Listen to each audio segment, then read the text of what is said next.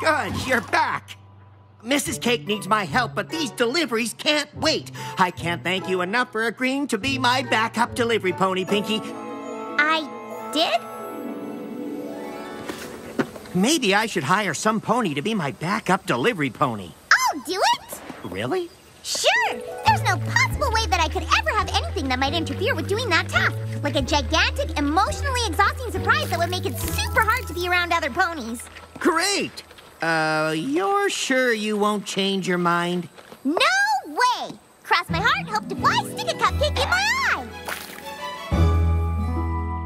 Oh, yeah. I pinky promised I'd do it, and I never break a pinky promise. Never! Well, thanks again. You're a real cake saver.